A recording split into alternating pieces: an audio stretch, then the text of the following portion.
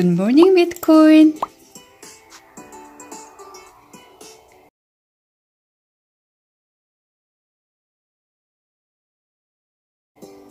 3월 28일 목요일 인사드립니다. 블록미디어 신지은입니다. 자, 오늘 장은 오랜만에 기분 좋게 출발하는 모습 보여줍니다. 비트코인 4020선에 거래되면서 2.57% 상승 기록하고 있고요. 이더리움, 리플, 이오스 오르고 있는데 특히 이오스 같은 경우에는 16% 급등세 보여주고 있습니다. 오늘은 상위권 시총의 코인들 모두 상승해주면서 상승 랠리를 달리고 있는 모습입니다. 그 덕분에 시장 가치도 많이 올랐습니다. 1426억 달러 선으로 뛰어 올랐고요. 비트코인 점유율은 그러나 50.3%로 소폭 줄어들었습니다. 그만큼 비트코인 외에 다른 코인들도 오늘 상승세에 어, 함께하고 있다라는 분석을 내릴 수 있겠는데요. 비트코인 2.48% 오르고 있지만 이오스는 말씀드린 대로 10% 넘는 급등세 연출하고 있고요. 비트코인 캐시 6.66%, 바이낸스 코인 2.76%, 카르다노 9.66%, 온톨로지 8.57% 상승하는 등, 자, 오늘은 지금 쭉 내려보시면요. 52위까지 모두 상승세입니다. 분위기 굉장히 좋, 좋게 평가를 할 수가 있겠는데요. 100위까지 조금 범위를 넓혀봐도요. 오늘은 하락하는 종목을 손에 꼽을 수 있을 정도로 분위기가 매우 좋은 상황입니다. 거래소의 거래 동향도 좀 확인을 해볼게요. 조정된 거래량 위주로 살펴보시면요. 오늘은 거래소들도 분위기가 굉장히 좋습니다. 거래량 24시간 동안 늘려주고 있는 거래소가 대부분인데요. 그런 와중에 1위는 바이낸스, 2위는 비트지, 3위는 OKEX가 차지하고 있네요. 업비트는 19% 정도 거래량 늘려주면서 25위에서 거래되고 있습니다. 국내 거래소들도 분위기 좋습니다. 비트코인 1% 정도 상승하고 있는 반면 이오스 15%, 에이다 8%. 자, 오늘장 분위기 굉장히 좋게 연출되고 있는 빗썸입니다. 그런 와중에 하락하고 있는 코인들도 눈에 띄는데 엔진 코인 0.53%, 펀디엑스 1.42%, 세타 토큰 1.53% 하락하면서 상승 분위기에 편승하지 못하고 내림세 보이고 있습니다. 룸도 16% 빠지고 있습니다. 자, 역시 업비트에서도 비트코인은 1% 넘게 오르면서 분위기 좋습니다. 거래량 가장 많은 이오스는 12% 급등 중이고요. 이더리움도 2%대로 오릅니다. OST 10%, 에이다 6% 오르고 있고요. 에드엑스와 세타퓨얼 3%, 8% 내리면서 오늘 상승세에 편입하지는 못하고 있는 모습입니다. 자, 이렇게 분위기 좋은 아침 오늘장 주요 뉴스들 먼저 어, 와이스 레이팅스의 소식부터 좀 살펴볼게요. 와이스 레이팅스는 저희 블록미디어와 파트너십을 맺은 세계 최초의 암호화폐 평가 등급 기관인데요. 리플과 이오스, 비트코인 순으로 A 등급을 부여했다는 소식 들어와 있습니다. 현지 시간 26일 2019년 암호화폐 산업 전망 보고서를 발표를 했는데 가격이 추락하면서 업계의 분위기는 좋지 않지만 오히려 관련 기술은 뚜렷한 개선을 나타내고 있다 라는 그런 의견을 줬네요. 일단 가격은 좀 위축이 됐지만 네트워크의 보안이나 개발자의 참여를 나타내는 지표는 240%, 170% 각각 상승했다면서요. 리플, 이오스 비트코인에는 A를 줬고 이더리움 A 카르다노부터 스텔라까지는 B 플러스를 줬습니다. 예전에는 비트코인에 더 낮은 점수를 준 바가 있는데요. 와이스는 왜 그때 비트코인에 C등급을 줬을까? 사실 2017년 비트코인이 한껏 올랐다가 떨어졌을 때 당시에는 와이스 레이팅스가 지난해 PC 플러스의 등급을 비트코인에 줬거든요. 지난해 초 비트코인 등급을 발표할 때 시장 참여자들 모두 분노했다면서 당시 2만 달러 가까이 급등했던 상황에서 위험과 수익을 고려하면 도저히 높은 등급을 줄 수 없었다라고 설명을 했지만 어쨌든 올해에는 비트코인 등급을 A로 부여를 했습니다. 이유는 가격이 하락하고 그러한 이유로 수익을 기대할 수 있는 구간에 진입을 했고요. 또 기술 측면에서도 Lightning Network 도입 등으로 비트코인 확장성이 개선됐다는 이유에서입니다. 바이낸스 토큰도 좀 눈에 띄는데 비트코인 뒤로 바이낸스 토큰에는 투자 기회를 고려해서 B-를 줬다고 해요. 기술과 수용성 기준으로는 B등급이지만 종합등급은 4위로 껑충 뛰어 올랐는데요. 어, 바이낸스가 거래 플랫폼인데 글로벌 거래량의 30% 이상을 차지하고 있는 것.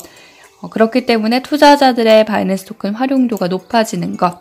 이러한 이유로 투자 매력도가 높다는 평가를 내렸습니다. 와이스레이팅스 같은 경우에는 음, 평가를 할 때 어떤 수수료를 받지 않고 또 기존 금융산업에 적용했던 평가 기준을 잣대로 평가를 하고 있기 때문에 많은 미국의 대표적인 언론이나 여러 가지 기관에서 와이스 레이팅스의 평가 등급을 인용을 하고 있습니다. 자, 이런 좋은 소식 속에서 이오스도 급등세가 굉장히 많이 눈에 띄는데요. 어제부터 지속됐던 그런 상승세죠. 사실 이오스는 지난 1월이죠. 1.6으로의 버전 업그레이드를 발표하고 나서 어떤 유의미한 업그레이드 소식을 내놓지는 못했는데요. 파운더인 댄 라리머가 아주 큰 소식이 6월에 올 것이다라는 기대감을 자아내는 그런 발언을 한 것이 이오스 급등의 원인의 한 축으로 꼽히고요. 하나는 제가 말씀드렸던 어, 이오스가 리플과 비트코인과 함께 A등급을 받았다는 그런 소식에 영향을 받아서 오르고 있는 것으로 보입니다. 오는 6월이면 이제 한 두 달 정도 남았네요. 두 달 후에 또 어떤 발표를 예정하고 있는지 기대감을 더 자아내고 있는 아침입니다. 자, 이렇게 좋은 신용, 좋은 평가 등급을 받고 또 이오스의 대표가 좋은 이야기를 하면서 일단은 시장은 긍정적으로 화답을 한 모습인데요. 그 외에 어떤 뉴스들이 있는지 살펴보도록 할게요. 테크크런치의 founder가 디지털 자산 회사인 ByteSize Capital을 인수했다는 소식 전해집니다. 자, 이 회사는 암호화폐에 특화된 펀드인데요. 이 펀드를 인수를 하면서, 인수합병을 하면서 앞으로 암호화폐 관련된 투자, 블록체인 관련 투자를 직접 할 수 있게 됐습니다. 그러한 길이 열린 거죠. 음, 이렇게 기존 산업에서 암호화폐에 투자하려는 움직임들도 늘어나고 있습니다. 그런 와중에 HSBC의 한 관리자는 CFTC 미국 상품 선물 거래 위원회에 조금 더 블록체인에 대한 과감한 의견을 내라라고 이야기를 했다는 소식도 들려오네요. Technology Advisory Committee meeting 그 회의에 참석을 해서 현지 시간 수요일에 조금 더 많은 이야기를 해도 좋겠다 라고 이야기를 했는데 뭐 지금도 회사들이 열심히 블록체인 기술 적용하고 있지만 이 분산 원장 기술에 대해서 어떻게 규제 기관이 보고 있는지 조금 더 적극적으로 입장을 개진해주는 것이 회사들에서 도움이 될 것이다 라는 취지로 이런 이야기를 했다고 합니다. 사실은 CFTC 같은 경우에는 어, 원장 기술, 분산 원장 기술 등 블록체인 기술에 대해 그동안 굉장히 긍정적인 입장을 보여오면서 어느 정도 시장에 긍정적인 영향을 줘왔거든요. 조금 더 큰 목소리를 내주기를 기대하는 그런 사람들의 마음을 대변한 이야기를 HSBC의 네, 임원 관리자가 했다는 소식인 어, 거죠. 스위스의 규제기관에서는 암호화폐 회사가 불법적으로 3만 7천 명의 투자자들로부터 자금을 모집했다라는 그런 규제안을 또 내놨네요. 규제안을 내놨다기보다는요, 그런 판결을 내린 거죠. 불법적으로 자금을 모았다. 여기에 대해서는 잘잘못을 가려야 한다 라는 그런 발표가 오늘 있었습니다. 엔비온이라는 회사인데요. 이 엔비온이라는 회사가 이렇게 불법적으로 자금을 모집하면서 자, ICO 역시 금융법 범위 안에서 이루어져야 하고 핀마, 이 스위스의 규제기관이죠. 핀마는 금융규제기관인데 핀마는 앞으로도 계속 ICO에 대해서 주목해서 볼 것이다. 라는 그런 입장을 밝혔습니다. 스위스가 굉장히 암호화폐 친화적인 나라긴 하지만요. 그럼에도 불구하고 불법적인 것까지 눈 감아주면서 친화적인 분위기를 만들어 나가는 게 아니라요. 잘못된 것은 가려서 없애고 또 좋은 것만 장려하는 그런 모습 적극적으로 보여주고 있습니다. 마지막 소식은요.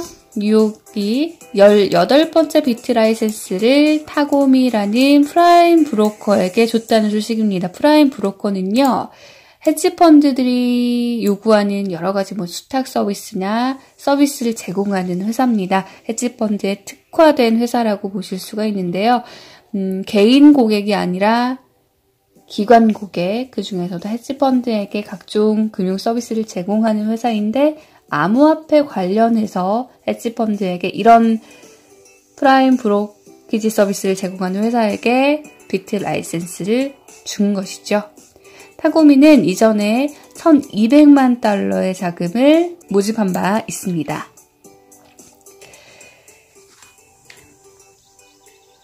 이렇게 업계 소식 활발한 아침입니다. 옵션 거래소에 비트코인 선물 역시 0.13% 오르면서 4,005선 기록하고 있고요. 4,000선을 넘겼네요. CME 거래소도 마찬가지입니다. 3월 비트코인 선물 0.12% 오르면서 4,010선에 거래됐습니다. 자, 오늘처럼 정말 시원한 상승세 보인 장 오랜만이죠. 자, 오늘은 좀 기분 좋게 이 상승세가 지속되길 바라면서 하루를 보낼 수 있을 것 같네요. 마찬가지로 뉴스들 굉장히 많이 올라오고 있습니다. 바닥을 좀 다져가면서 업계의 분위기가 긍정적으로 형성되는 모습 계속해서 저희와 함께 해주시고요. 더 많은 뉴스들, 전해드리지 못한 뉴스들, 블록미디어 홈페이지를 통해서 확인하실 수가 있으니까요. 오늘도 저희와 함께 해주시고요. 저는 금요일 내일 다시 인사드릴게요. 오늘도 좋은 하루 보내시고 어제 어떤 시청자분께서 저한테 광합성 좀 하라 라고 말씀을 해주셨는데 열심히 광합성 하겠습니다. 네, 감사하고요. 저는 내일 다시 인사드리겠습니다. 시청해주신 여러분 고맙습니다.